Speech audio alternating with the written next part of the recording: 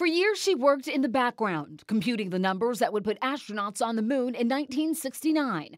Mathematician Katherine Johnson completed trajectory analysis for America's first human spaceflight, Alan Shepard's Freedom 7 mission. She would later go on to run computer equations by hand for John Glenn's first American orbital spaceflight. Her work was critical during a time when NASA says astronauts didn't want to put their lives in the care of electronic calculating machines that were prone to problems and blackouts.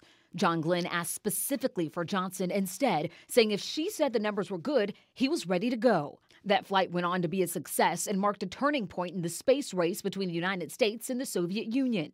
Johnson, known for working her equations by hand, initially worked for the government in an all black section before being assigned to an all male division and later gaining access to meetings that were previously only attended by men.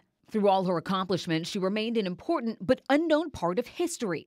That's until her story rose to fame when it was portrayed in the 2016 Oscar nominated film Hidden Figures, part of which was filmed in Georgia. She was one of three African American women who helped the space program, working with Dorothy Vaughan, another mathematician who died in 2008, and Mary Jackson, an engineer who died in 2005. But Johnson's legend didn't begin or end with her work in the space program. She skipped several grades entering high school at age 13 on the campus of the historically black West Virginia State College, later enrolling at 18. She went on to teach at a public black school and made history when she and two African American men became the first three black students offered admission to West Virginia University. In 2015, she was awarded the Presidential Medal of Freedom, the highest civilian honor from President Barack Obama. And just last July, a NASA facility was renamed in her honor.